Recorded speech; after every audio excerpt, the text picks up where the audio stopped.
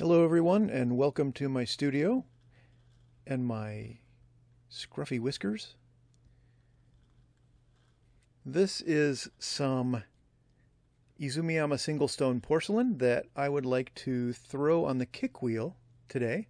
And that's what this video is going to be about. It's going to be throwing these small forms on the kick wheel, which is not unlike throwing on an electric wheel, except your legs move more. I have two kick wheels, and this is uh, one that I got from my teacher's younger brother when he retired from potting. And this is the one I use for throwing. The other one, which is the one I built uh, myself, I use for doing coil and paddle work. And today's video features the first use ever of the uh, shoulder cam. So you're sort of seeing what I'm seeing, but uh, the drawback is uh, every time my shoulder moves, the camera moves. So um, we'll be working with this and hopefully refining the technique as uh, as we go through here um, in the next few videos. This uh, single stone porcelain uh, starts out real soft because I like to throw really soft clay on the kick wheel because it's less work on my legs. Um, it soaks up water like crazy, like a sponge. So I throw with slip, uh, which saves me a lot of trouble down the line. And I'll be throwing today using these cow's tongue ribs. I've got over there, I think there are like seven or eight different types for different types of pots. Um, this is a type that's used for cylindrical forms. And you can see the end of it is sort of squared off. It's not round like some of the other ones. It's good for the defining the interior corners of a cup or a plate. And I turned it this direction. I'm using the round part of it to just create a basic sort of uh, wangata or what, a, what would be normally a bowl shape here to start with. Once that bowl shape is established and I've got it as tall as I want it, I'm going to make sure that lip is stable, thin it out a little bit, and I'm going to roll it over. And here I will use a little bit of water, but in a real controlled way, using a brush there just to apply a little bit of water just to lubricate and then go over that, go over with the edge of that lip there. Um, but not quite as easily as I had hoped.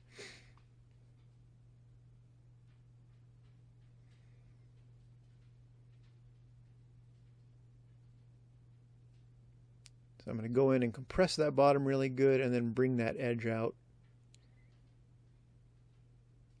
And having that bottom compressed and under tension will really keep that pot stable as I work on the top.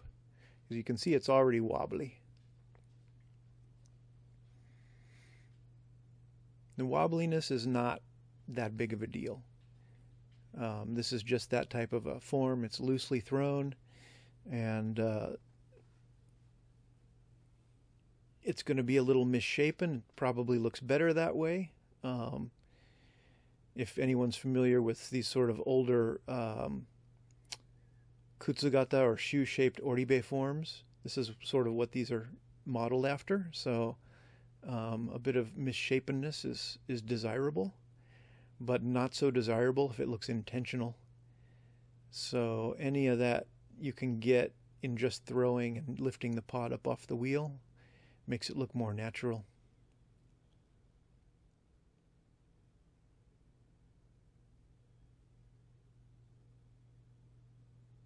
Rather than making a perfectly round pot and then when once you're done with it, going in with your fingers and deforming it.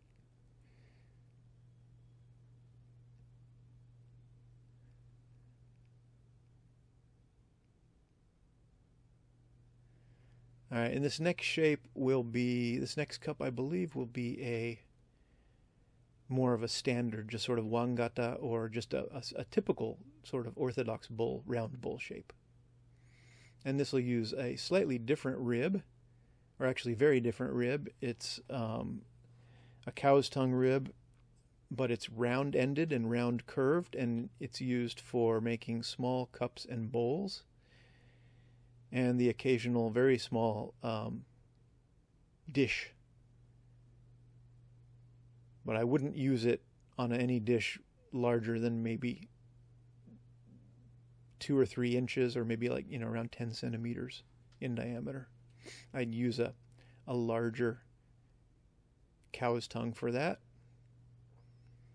In fact this one is actually almost too big for these little tiny forms. It's hard to get that in there without causing problems but um, i don't have a round-ended cow's tongue uh, that's small and that's quite the right size for these types of little small these little tiny forms like this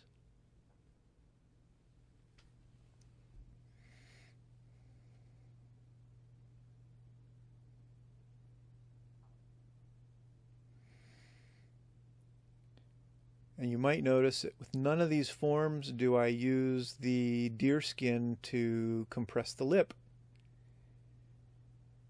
It's because when you use these tools and you bring it up at the top of that pull, you apply that tool against your finger and you've compressed the lip. There is there doesn't need to be that extra step of using the chamois or the deer skin, whatever it's called, to compress the lip.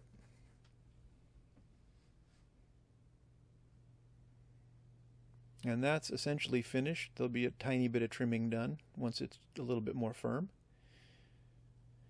But that's pretty much done. See how much that moves around. Just handling it after throwing that stuff has got no backbone at all.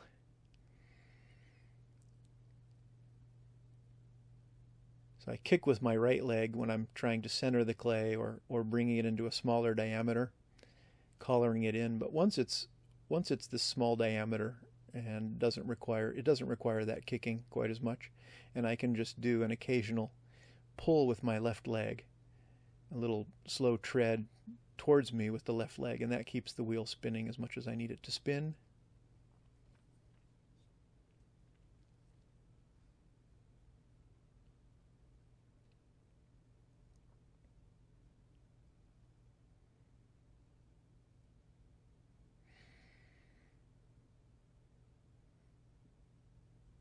Again, you can see here the wheel head's real clean. And even at the end of the video, the wheel head will still be clean because I'm not using water for throwing here. I'm using the slip, which actually, for me, lubricates better than water and it makes much less of a mess. Oop, got a little hiccup there.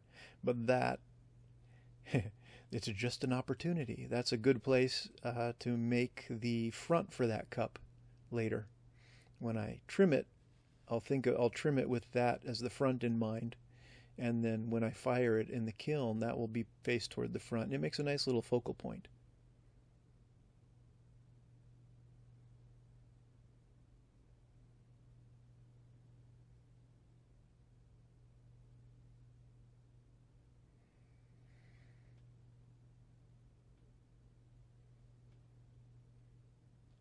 My goal here is to throw reasonably quick and loose, but not sloppy, if you know what I mean.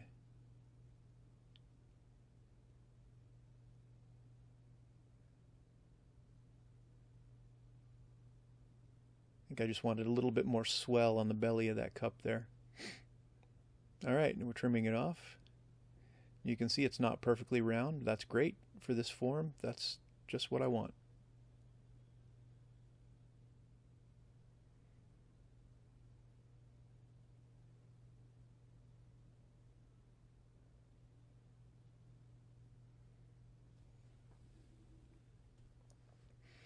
And this is the last cup that showed up on video here. And this is another one of those kutsugata, or shoe-shaped bowls.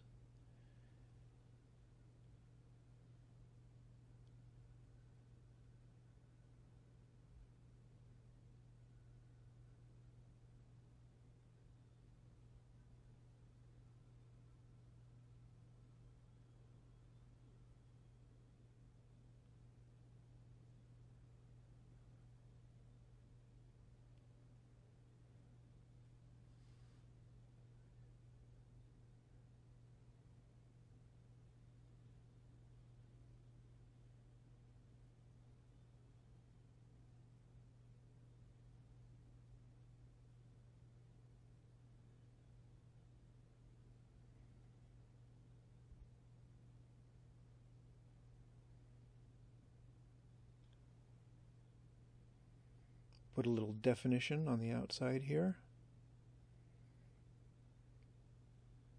A little place to stop the glaze if it decides to run.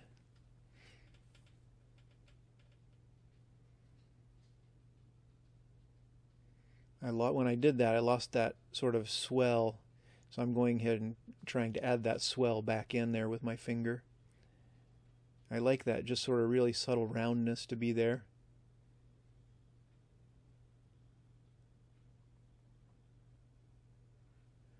Right, that's about it.